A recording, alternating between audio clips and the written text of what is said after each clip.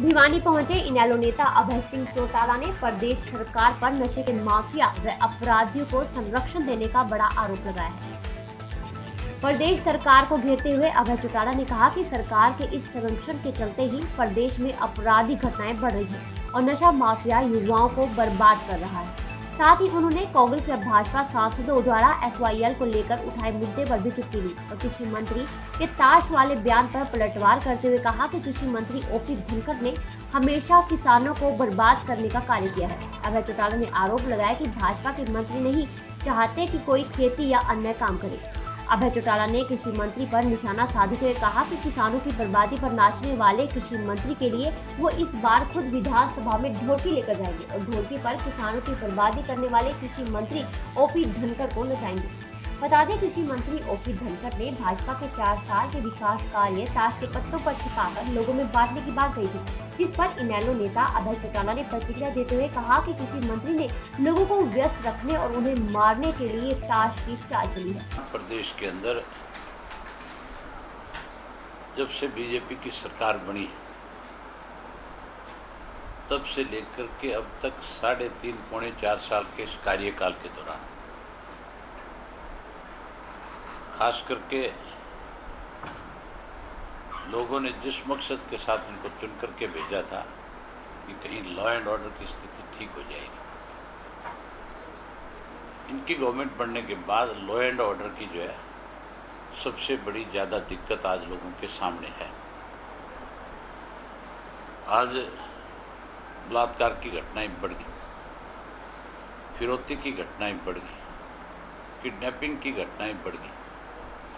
दुकानों के शेड तोड़ने की घटनाएँ आज बढ़ गई, पेट्रोल पंप लूटने की घटनाएँ भी आज बढ़ गई। और जो लोग इस किस्म के कामों को अंजाम देते हैं, उन लोगों को सरकार का संरक्षण ज़्यादा हो गया। यही एक कारण है कि आज ये सब चीज़ें बढ़ती जा रही है। इससे भी ज़्यादा बड़ा आज एक चिंता का जो विषय हमारे सामने है, हमारी ये जो नौजवान भावी पीढ़ी है जिस नशे को लेकर के पंजाब के अंदर लोगों ने फ़िल्में तक बना डाली। और इतना बड़ा पंजाब के अंदर नशे का प्रचलन एक टाइम में हुआ था कि बहुत से लोगों ने पंजाब से पलायन कर लिया अपने बच्चों को लेकर के कि कहीं हमारे बच्चे के खिलाफ धरने पे बैठे हैं, कि हमारे से जबरन वसूली की जाती है, हमारे से फिरौती मांगी जाती है। एमएलए जाता है बेचारा। और जा कर के डीएसपी को साथ ले जाता है, आश्वासन दे देता है कि जी हम इसके खिलाफ कार्रवाई करेंगे। कोई कार्रवाई करने की बजाय केवल ये लोगों को ढांढस बंधाने वाली बात है कि लोग इस हड़ताल को समाप्त कर दे और चले जाएँ। ये तो संरक्षण देने वाले लोग हैं इन चीज़ों को। सरकार के संरक्षण में ही ये सारे धंधे आज हो रहे हैं। इस विधानसभा के सत्र के अंदर हम अपनी पार्टी की तरफ़ से इस नशे के इशू को लेकर के। काम को प्रस्ताव देंगे और हर हालत के अंदर चाहेंगे कि सरकार इसके ऊपर चर्चा कराए और सरकार इसके ऊपर जवाब दे। जहाँ आज इन सब चीज़ों की वहीं एसवायएल को लेकर के हमने पाँच चरणों में, पहले छह चरणों में लड़ाई लड़ी और अब हमने फैसला किया है कि 18 अगस्त तक अगर कोई सरकार की तरफ़ से ठोस आश्वासन नहीं आया तो हम हरियाणा बंद करेंगे। और इस हरियाणा बंद के लिए आज हमारा ये, मेरे ख्याल तेरहवा जिला है मीटिंग का। और सब जगह हमारी पार्टी के दोनों के कार्यकर्ताओं की तरफ़ से हमें जो फीडबैक मिला है, हर वर्ग के लोग आज चाहते हैं कि हर हालत में हरियाणा बंद हो। आज व्यापारी स्वयं, जो व्यापारियों से हमारे साथ ही जाकर के मिले तो व्यापारियों ने खुद कहा कि ये आपका बहुत अच्छा निर्णय है। हम भी चाहते हैं कि ऐसे सरकार को सबक के लिए हमें एक दिन, दो दिन हरियाणा बंद ही कहा गया। मौत सिराने आके खड़ी होगी। इसलिए कैसे लोगों के बीच में कल को जाएँगे?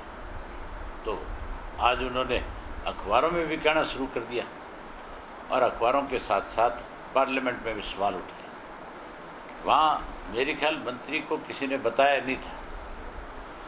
या बीजेपी के लोगों को शायद इस बात की समझ नहीं थी, उनको एक ही बात पूछनी चाहिए थी कि चार साल बाद आज तेरी आँख खुली है।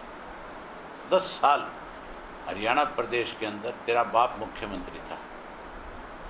तेरे बाप जब मुख्यमंत्री थे, तेरे पिता चौधरी भूपेंद्र सिंह हुड्डा। तब आप लोगों ने अर्ली हियरिंग की एप्लीकेशन भी सुप्रीम कोर्ट में नहीं लगाई। तब आपको एस नज़र नहीं आई। आज एसवाईएल नहीं नज़र आ रही। आज तो मतदाताओं के बीच में जाने का रास्ता बनाने के प्रयास है। यही हालत केंद्रीय मंत्री की है। यही हालत आपके यहाँ के सांसद की है। ये दस साल ये सांसद भी कांग्रेस के राज में मंत्री हुआ करता था। इसने तब कभी ज़िक्र नहीं किया।